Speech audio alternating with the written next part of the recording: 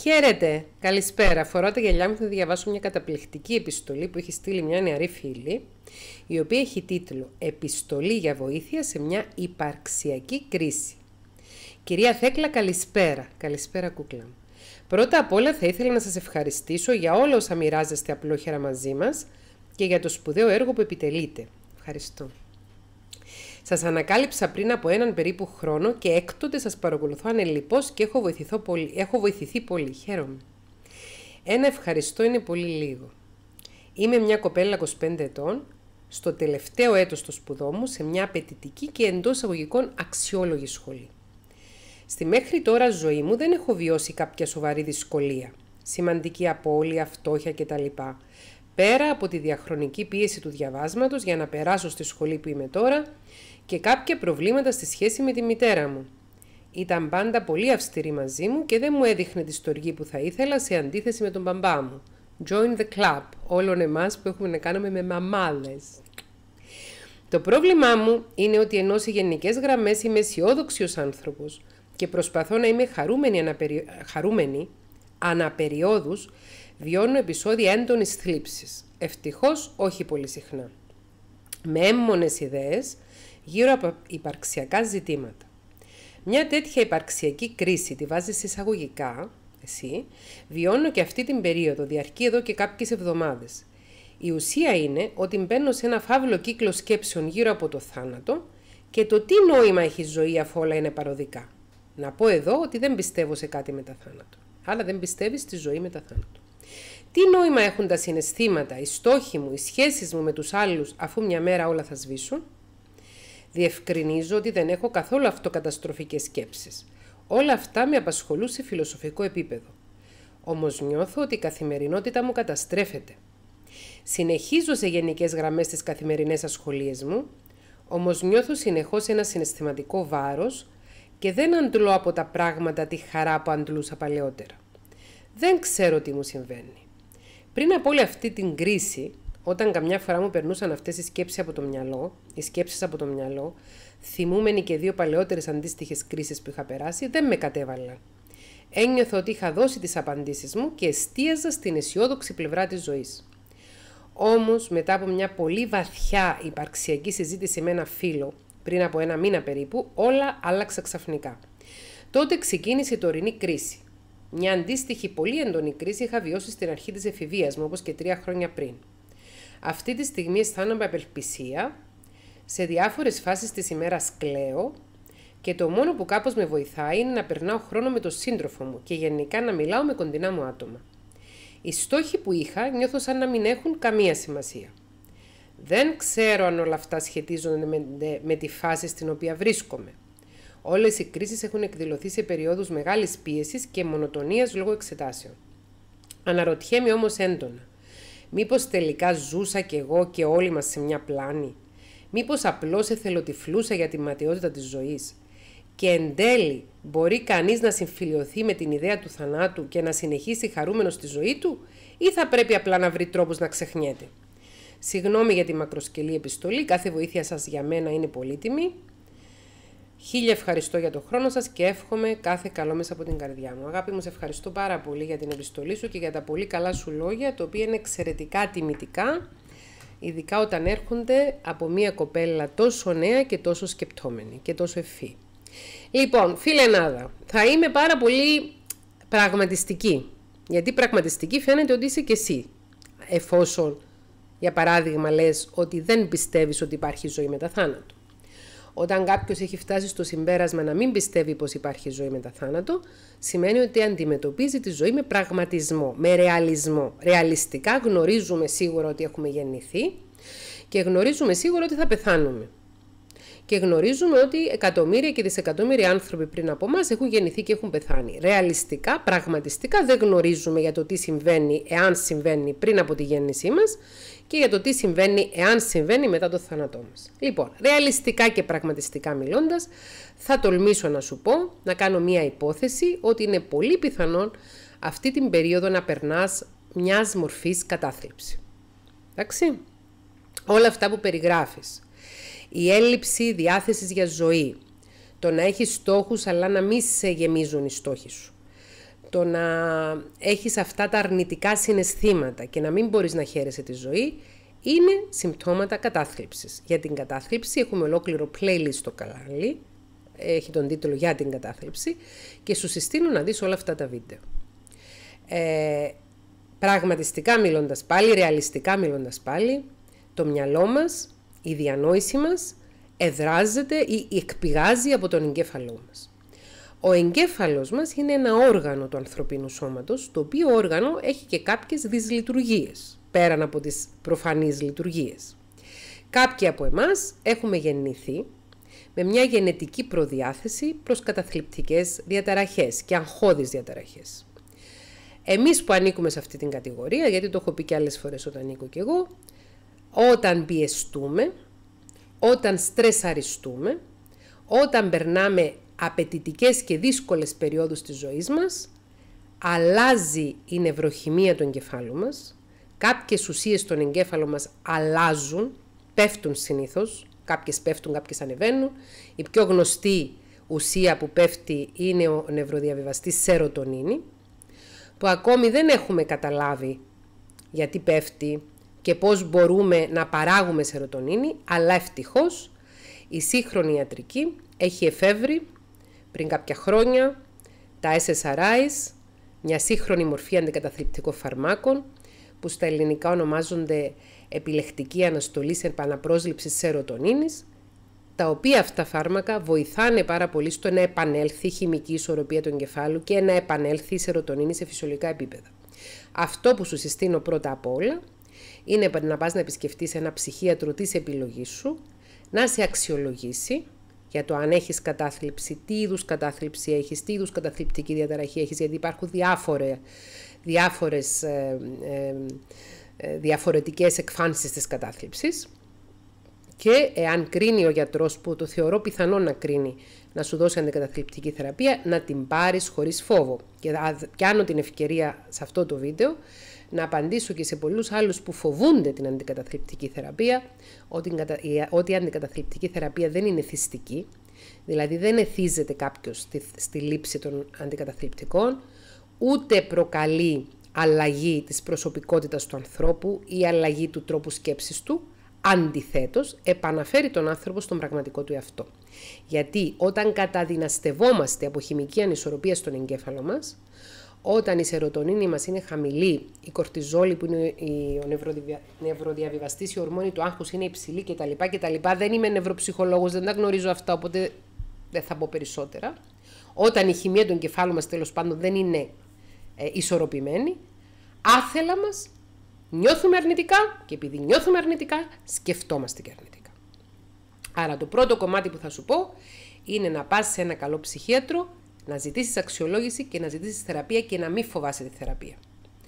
Ε, υποθέτω, χωρίς να γνωρίζω, ότι το πιο πιθανό να σου συνταγογραφήσει αντικαταθλιπτικά φάρμακα για κάποια περίοδο. Και όταν πάμε στο ψυχίατρο, πάμε, λέμε το ιστορικό μας, απαντούμε με ειλικρίνεια όλες τις ερωτήσεις του ψυχιάτρου και στην περίπτωση που θα μας συνταγογραφήσει μια αγωγή, ερχόμαστε σε τακτική επικοινωνία μαζί του. Αν μας πει πάρε αυτή, το φάρμακο για πέντε μέρες σε αυτή τη δόση και μετά πάρε με τηλέφωνο να μου, να μου πεις πώς νιώθεις και να σου πω θα την αυξήσεις και πώς θα προχωρήσεις, τον παίρνουμε τηλέφωνο, κάνουμε τα ραντεβού μας, όποτε μας τα ορίσει, συνήθως μια φορά το μήνα, δεν ξέρω εγώ κάθε πόσο, και είμαστε σε τακτική συνεργασία με τον ψυχιατρό μας, ούτως ώστε η θεραπεία αντικαταθλιπτική που θα κάνουμε να είναι υπό έλεγχο και να είναι στην καλύτερη ε, μορφή. Εντάξει. Λοιπόν, το υπαρξιακό ζήτημα τώρα. Οι υπαρξιακές κρίσεις τώρα. Μπορεί ένας άνθρωπος να μην έχει κατάθλιψη, αλλά να έχει υπαρξιακά ερωτήματα. Και θα σου πάω στη δικιά σου την επιστολή και θα σου πω ότι εσύ ήδη έχεις γράψει μέσα στην επιστολή σου ότι τα υπαρξιακά ερωτήματα που σε απασχολούν τώρα τα έχει και σε άλλες φάσεις, αλλά δεν σε κατέβαλαν. Δεν σου έριχναν τη διάθεση. Δεν σε έκαναν δυσλειτουργική. Άρα μπορούμε να διαχωρίσουμε τα υπαρξιακά ερωτήματα ως φιλοσοφικές ε, οντότητες και ως ιδέες οι οποίες βρίσκονται μέσα στο μυαλό σου και χρειάζονται ένα συγύρισμα, να τα ξεκαθαρίσουμε από την κατάθλιψη ως μια σωματική συνθήκη, ως μια εγκεφαλική συνθήκη η οποία χρήζει θεραπείας.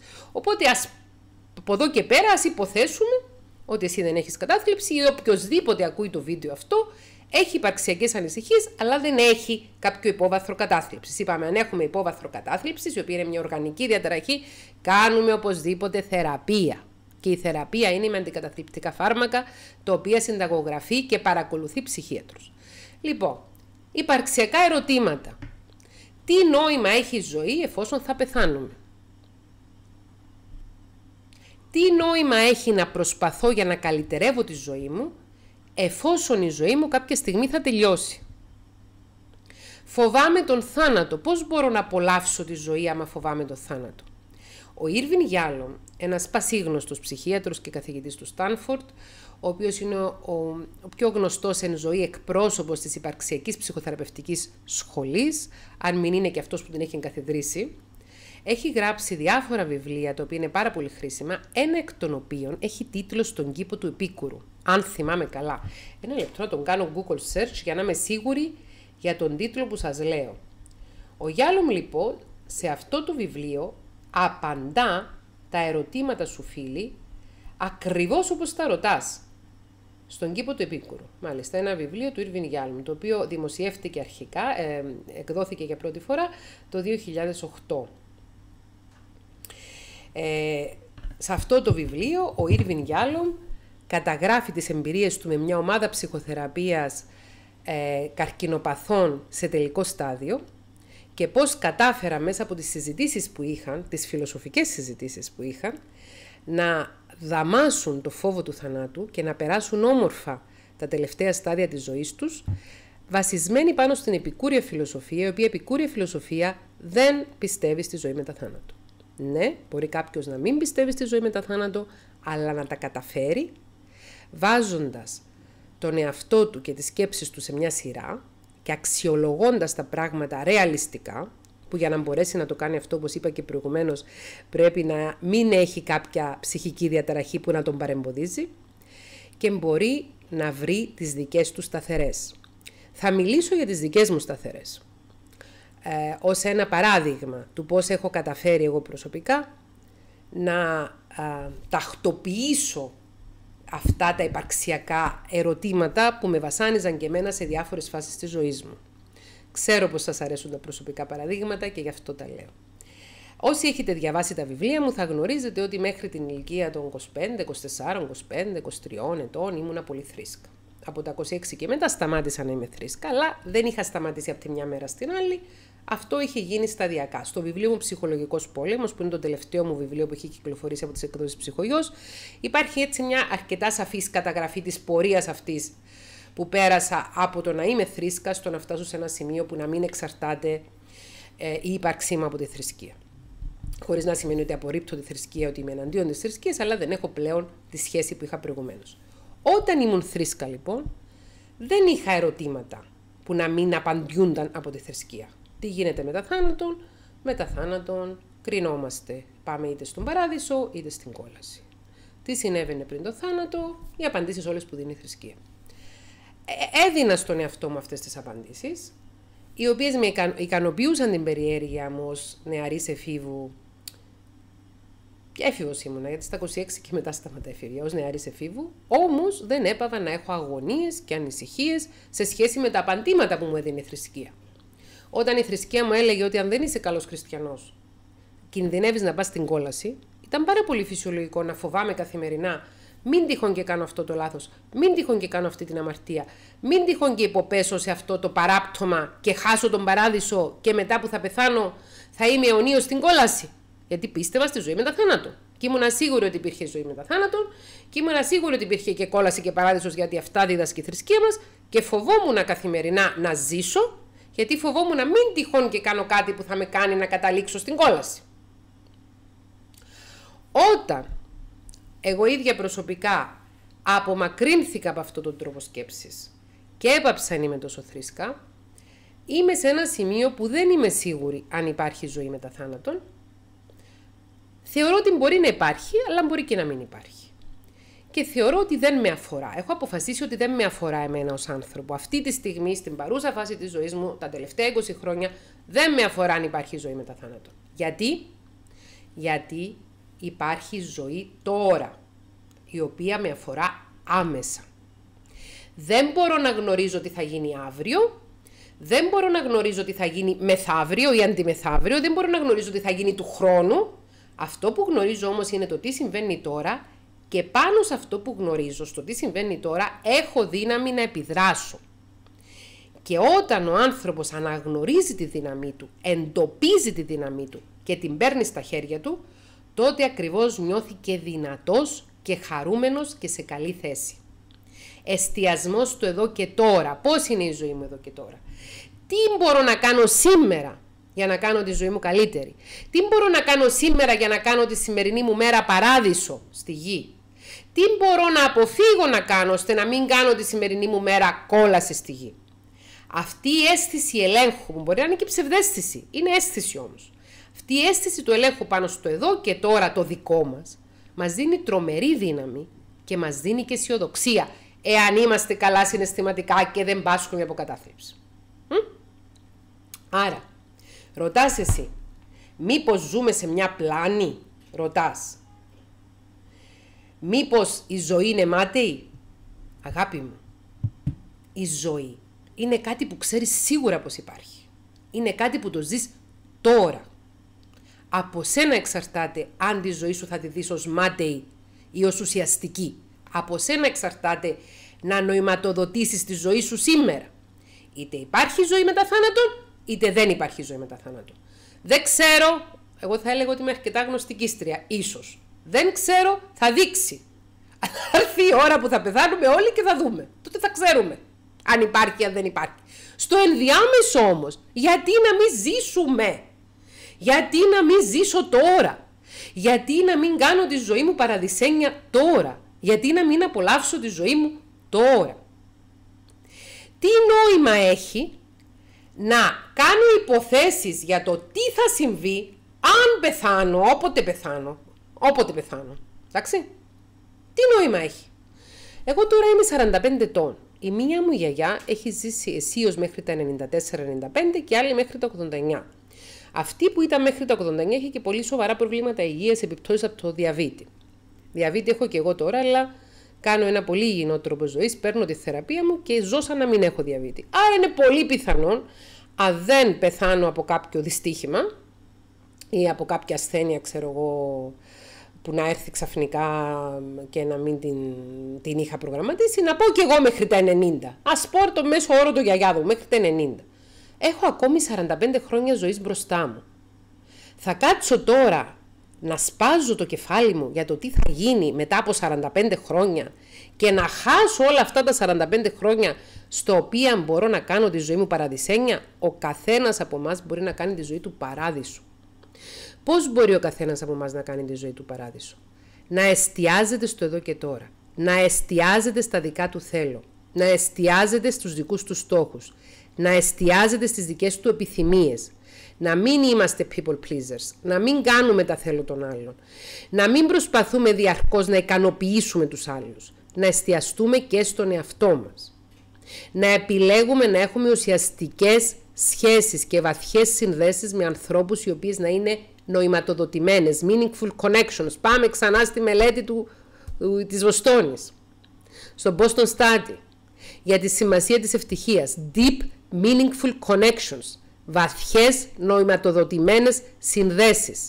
Δεν είναι τυχαίο που λες ότι τώρα θέλεις να περνάς χρόνο με τους κοντινούς σου ανθρώπους και με το φίλο σου. Όταν είμαστε με ανθρώπους που μας αγαπάνε και επικοινωνούμε έστω και μέσω τηλεφώνου ή μέσω βιντεοκλήσης, γιατί ζούμε και στην εποχή της πανδημίας, που πολλοί από εμάς δυσκολευόμαστε να έρθουμε σε άμεση επαφή με ανθρώπους που αγαπάμε, είτε λόγω απόστασης είτε λόγω του social distancing. Ακόμη και βλέποντας το πρόσωπο ενός ανθρώπου που αγαπάμε στην οθόνη του κινητού μας, κάνοντας βιντεοκλήση ή παρακολουθώντας ένα βίντεο που μας έχει στείλει, αυτό μας κάνει να νιώθουμε καλύτερα. Πώς μπορούμε να ξεπεράσουμε μια υπαρξιακή κρίση; Καταρχάς, ψάχνουμε και διερευνούμε να δούμε αν υπάρχει μια κατάθλιψη υποβόσκουσα η οποία να έχει προκαλέσει αυτή την υπαρξιακή κρίση να βγει εκτός ελέγχου. Τακτοποιούμε το κομμάτι της κατάθλιψης, δηλαδή δεν αγνοούμε το σωματικό μας σε αυτό και στο κομμάτι το γνωστικό προσπαθούμε να είμαστε όσο πιο ρεαλιστές και πιο πραγματιστές γίνεται. Ενώ πολλοί άνθρωποι θεωρούν ότι αν εγώ πιστέψω, για παράδειγμα, σε μια ζωή μετά θάνατον όπως τη διδάσκει η Χριστιανική Εκκλησία ή σε μια ζωή μετά θάνατον όπως τη διδάσκει η Ινδουιστική θρησκεία που μιλάνε για μετενσάρκωση, μετεμψύχωση, δεν ξέρω τι άλλο, ή το κάρμα. Αν πιστέψω σε οποιαδήποτε δοξασία ή σε οποιαδήποτε θρησκεία θα είμαι καλά, γιατί θα ξέρω τι θα γίνει μετά. Όχι, δεν θα είσαι καλά. Γιατί θα, δεν θα είναι στο χέρι σου τι να κάνεις. Δεν έχεις στο χέρι σου τα εργαλεία να κάνεις τη ζωή σου σήμερα παράδεισο. Περιμένεις να ακολουθήσεις κάποιες οδηγίες ώστε κάποτε ο Θεός αυτής της θρησκείας, οποιοδήποτε Θεός ή ένας είναι ο Θεός, δεν ξέρω τι, θα αποφασίσει για σένα να σου δώσει τον παράδεισο. Μπορείς να κερδίσεις τον παράδεισο σήμερα. Και κερδίζοντας τον παράδεισο σήμερα, μπορείς άθελά σου, άθελά σου να μην πηγαίνεις κόντρα με τις βασικές αρχές του ανθρωπισμού και της κάθε ε, ανθρωποκεντρικής θρησκείας, της κάθε ανθρωπιστικής θρησκείας, που είναι να αγαπάτε αυτούς και αλλήλους, να αγαπάμε τον εαυτό μας και τους άλλους, να κάνουμε καλές πράξεις, να είμαστε άνθρωποι της, άνθρωποι της αγάπης και της καλοσύνης. Δεν έρχεται το ένα να εξαιρέσει το άλλο. Ένας καλός ανθρωπιστής, ρεαλιστής και ίσως και αγνωστικιστής μπορεί να είναι εξίσου καλός άνθρωπος με έναν καλό χριστιανό. Άρα, παίρνουμε τις σκέψεις μας όλες αυτές, παίρνουμε όλους αυτούς τους φόβους που έχουμε για το μέλλον, τους βλέπουμε ρεαλιστικά και συνειδητοποιούμε ότι μας ανήκει το εδώ και τώρα και πάνω σε αυτό εστιαζόμαστε για να το κάνουμε αυτό τώρα παράδεισο. Και όσον αφορά στο μέλλον και στις δυσκολίες που μπορεί να προκύψουν στο μέλλον, θα σου πω κάτι ως μεγαλύτερη από σένα 20 χρόνια, είσαι 25 ή 45, που νομίζω ότι έχω ζήσει τη μισή μου ζωή, ίσως και πιο λίγο από τη μισή, δεν ξέρω, μπορεί να ζήσω και παραπάνω από τις γιαγιάδες μου, θα δείξει. Λοιπόν, ότι έχω παρατηρήσει ότι όλοι οι άνθρωποι ανεξαιρέτως σε στιγμές μεγάλης ουσιαστικής κρίσης, όχι μόνο υπαρξιακής, ουσιαστικής κρίσης, όταν τους συμβεί κάτι πολύ δύσκολο, είπες πτωχοποίηση, απώλεια αγαπημένου προσώπου, διαζύγιο, θάνατος στην οικογένεια, έχουν μέσα τους δυνάμεις, ανακαλύπτουν πως έχουν μέσα τους δυνάμεις που ποτέ δεν γνώριζαν. Εμείς οι άνθρωποι έχουμε πολύ resilience, πολύ ψυχική ανθεκτικότητα μέσα μας, την οποία όταν δεν βρεθούμε σε δύσκολες συνθήκες δεν μπορούμε να γνωρίζουμε πως την έχουμε, γιατί δεν θα χρειαστεί να την βάλουμε σε πράξη. Οπότε και αυτή η γνώση μας βοηθάει να είμαστε πιο ήρεμοι. Άρα κάνω σήμερα το εδώ και τώρα μου παράδεισο και γνωρίζω ότι εάν τυχόν μου συμβεί κάτι δύσκολο, έχω και τις βοηθητικές δυνάμεις οι οποίες μπορεί να εδράζονται για όσους γνωρίζουν περισσότερα από νευροφυσιολογία και νευροψυχολογία στο παρασυμπαθητικό νευρικό σύστημα ίσως. Έχω και τις βοηθητικές δυνάμεις οι οποίες θα λανσαριστούν και θα με βοηθήσουν να βγω από το δύσκολο σημείο. Και να ξέρεις το εξής ότι τίποτα δεν είναι τόσο δύσκολο και περίπλοκο όσο το φτιάχνει η σκέψη μας. Όσο περισσότερο σκεφτόμαστε πάνω σε ένα πιθανό πρόβλημα και σκεφτόμαστε θεωρητικά για ένα πρόβλημα και δεν το αντιμετωπίζουμε πρακτικά, τόσο πιο δύσκολο το φτιάχνει το μυαλό μας. Στέλνω την αγάπη μου σε όλους και εύχομαι αυτό το βίντεο να έχει μιλήσει στις καρδιές σας και στις ψυχές σας και στους εγκεφάλους σας και στη λογική σας. Και θα ήθελα να ακούσω τα σχόλιά σας, θα ήθελα να διαβάσω τα σχόλια σας κάτω από αυτό το βίντεο. Την αγάπη μου σε όλους.